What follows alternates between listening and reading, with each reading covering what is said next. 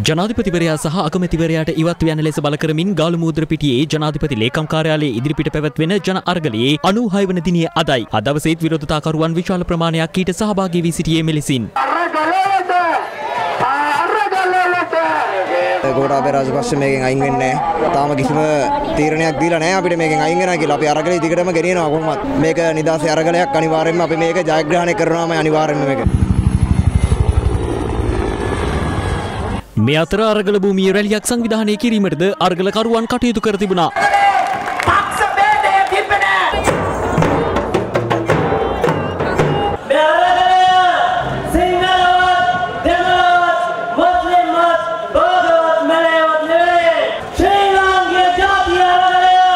එහිදී රැලිය ආමන්ත්‍රණය කිරීම සඳහා පැමිණි ජනතා විමුක්ති පෙරමුණේ වසන්ත සමරසිංහට අරගලයේ පිරිසකගෙන් දැඩි විරෝධයක් එල්ල වුණේ මෙලෙසින්.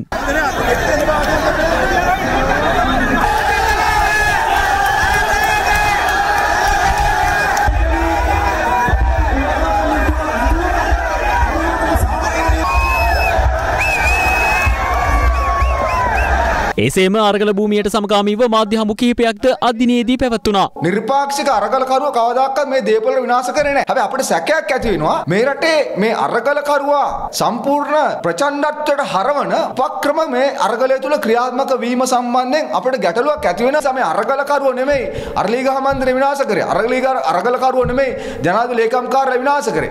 ඒවා විනාශ කරන්න සාමකාමී අරගලකරුවන්ට කිසිදු උවමනාවක් නැහැ. අපි තීරණය කළා මෙතනින් එහාට අරගලයේ ඉන්න පුරවැසියෝ වශයෙන් මේකට දේශපාලනයේ විසඳුමක් දෙන්න. තරුණ නායකත්වයක් යටතේ ශ්‍රී ලංකාවට අලුත් දේශපාලන පක්ෂයකින් නායකත්වයක් දෙන්න අපි සූදානම්. ගෝඨාභය රාජපක්ෂ රනිල් වික්‍රමසිංහ ඔබ දෙදෙනා ඔබ දෙදෙනාගේ අස්වීමේ ලිපි වහා ලබා දී යුතුයි. ඒ ලබා දීම තුලයි මේ රට යම්කිසි විදිහකට ජනතාවට සාධාරණයක් යුක්තියක් ඉටු වෙන්නේ. මේ අතර පසුගියදා අර්ගලකරුවන් විසින් අත්පත් කරගත් ජනාධිපති මන්දිරය සහ අරලීගහ මන්දිරයේ නැරඹීම සඳහා අදත් විශාල පිරිසක් එක්ව සිටියා.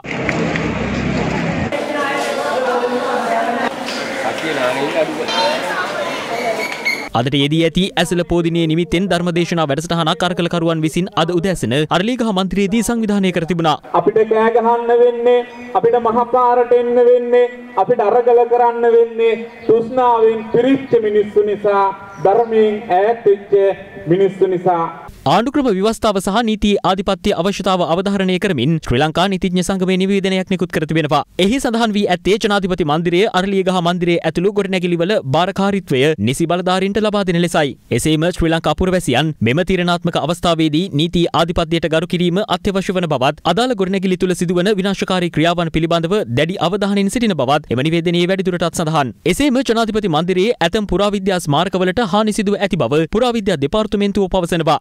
ජනාධිපති මන්දිරය ජනාධිපති ලේකම් කාර්යාලය සහ අරලේගහ මන්දිරය යන ස්ථාන පුරාවිද්‍යා අධ්‍යක්ෂ ජෙනරාල්වරයා ඇතුළු නිලධාරීන් පිරිසක් ඊයේ පරීක්ෂා කිරීමෙන් පසු නිවේදනයක් නිකුත් කරමින් පුරාවිද්‍යා දෙපාර්තමේන්තුව මේ බව සඳහන් කළා.